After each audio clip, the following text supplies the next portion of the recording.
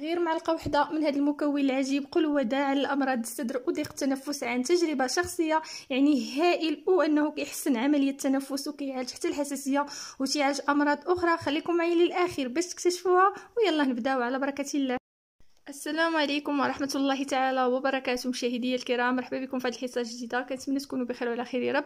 رجعت لكم اليوم فيديو جديد وهذا الفيديو غنتقاسم معكم استعمالات عجيبة وفوائد عظيمة لهذا المطحون هذا. خليكم معي للآخر باش تكتشفوا فاش غيفيدنا فاش غادي نستخدموه استعمالات أكثر من رائعة ومجربة غتفيدكم بزاف. بالأخص في هذه الفترة هذه كنتمنى فعلا هذه الحصة أنها تنال الاعجاب ديالكم. كنشكركم بزاف بزاف على المتابعة ما تنساونيش ب like وال partage وفرجة ممتعة. غنبداو بسم الله على بركة الله. كما كتشوفوا معايا هذا هو المكون السحري اللي غادي نهضروا عليه اليوم. هذا هو المطحون ديال النبق. آه هذا هو النبق. كما كتشوفوا ثمار السدر السدر المذكورة في القرآن يعني الشجره آه مباركة. الحمد لله يعني هاد الثمار ديالها كتعالجينا بزاف ديال الأمراض وعندها فوائد عظيمة على الصحة ديالنا. déjà تقاسمت معكم بزاف ديال الفوائد. اليوم غتعرفوا معايا على آه فوائد أخرى واستعمالات أخرى بإذن الله عن تجربة شخصية وغنبداو بأول استعمال. بالنسبة قبل ما نبداو بأول استعمال اول حاجة نعرفكم على بعض الفوائد العظيمة ديال هذا النبق هذا إنه غني بالفيتامينات والأملاح المعدنية وكيحتوي كذلك على السكريات الطبيعية وإنه جيد وكيقوي المناعة. يعني في هذه الفترة هذه عطيو لوليداتكم النبق وخذوا النبق بالأخص في هذا المرض هذا ديال هذا الوباء هذا. هذا النبق راه غادي يفيدكم وغيسهل عليكم الكثير. وخليكم معايا للاخر غنعطيكم وصفة اللي أنا تعلمت منها شخصيا يعني فعالة ووصفات أخرى بإذن الله اللي غتفيدكم. وكذلك نتعرفوا على الفوائد الاخرى ديالو انه رائع وكيهد الاعصاب يعني وجالب للنوم بالنسبة للناس اللي عندهم اضطراب النوم ما الناس وعندهم الارق ما عليهم الا انهم ياخذوا هذا النبق هذا آه، سواء هكا مطحون أو لا ياخذوه في اي حاجة بغاو مع الماء مع الحليب يعني فاش ما بغاو ولا غير ياخذوه معلقه ويشربوا عليها الماء راه غادي يفيدهم بزاف وكذلك انه جيد للامعاء تحديدا يعني في الامعاء راه كيعالجها هذا النبق هذا وكذلك اللي عنده التهاب في الامعاء ولا اللي عنده ديك الحرقه ديال المعده انه كيطهر المعده وجيد هذا النبق هذا مع المداومة عليه من طبيعة الحال. آه، يعني ما تخافوش منه هو تستعملوه حتى شهر ما كيأثر ما والو جيد للصغار والكبار.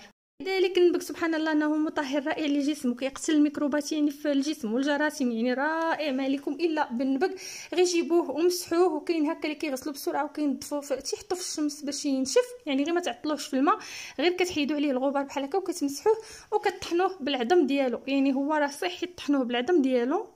بالنسبة كذلك للناس اللي كيصوموا هكا اولا راه جيد النبق ياكلوه لأنه كيطفي يعني الشعور بالعطش ما كيحسش الإنسان بالعطش. كذلك جيد بالنسبة للناس اللي كيحسوا بالعياء يعني راه كيمد الجسم بالطاقة ولا تيحس الإنسان يعني بالنشاط وبالحيويه لأنه كيحتوي على السكريات الطبيعية. يعني ما عليكم إلا أنكم تستهلكوا النبق وتعطيوه كذلك لوليداتكم إلا ما بغاوش لكم الأطفال بهذا الشكل يعني غادي نعطيكم وصفات باش تعطيو الأطفال ديالكم ممكن أنكم تطحنوه بهذه الطريقة هذه.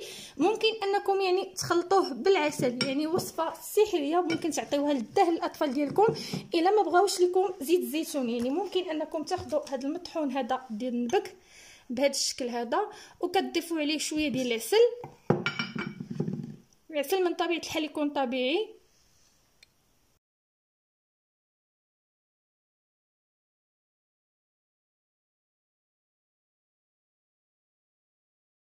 كما كتشوفوا معايا يعني دابا بعد ما خلطنا هذا الخليط هذا ديال النبق مع العسل مع الصباح يعني على الريق آه، جيد. هذا بزاف ديال الأمور يعني رائع وكذلك جيد للاطفال أنه كيقوي المناعات يعني عطوه للاطفال ديالكم إلا ما بغاوش ياخذوه بهذا الشكل هذا خلطوه لهم مع العسل يدهنوا به الخبز آه، يعني راه رائع وغيفيدهم بزاف.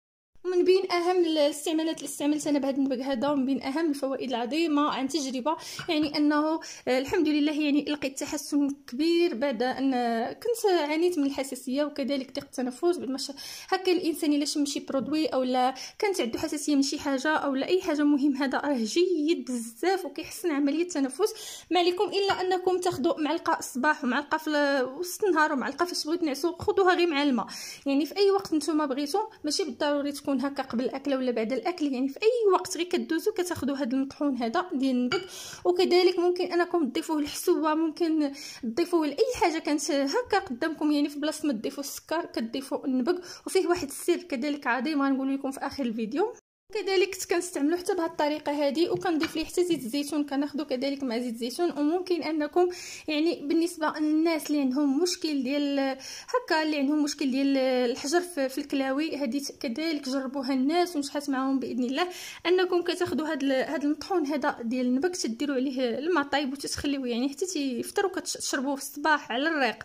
يعني كدوموا عليه دوموا عليه الناس يعني وراه دوب ليهم الحجر من الكلاوي سبحان الله حتى بالنسبة للناس اللي عندهم التهاب آه، في المثانه هكا أو لا راه جيد وهائل وكينظف لكم ومطهر رائع للجسم وكيشافي يعني بزاف ديال الأمراض يعني سبحان الله يعني راه ثمره ديال الشجرة المباركة المذكورة في القرآن. آه، كنتمنى فعلا تفيدكم.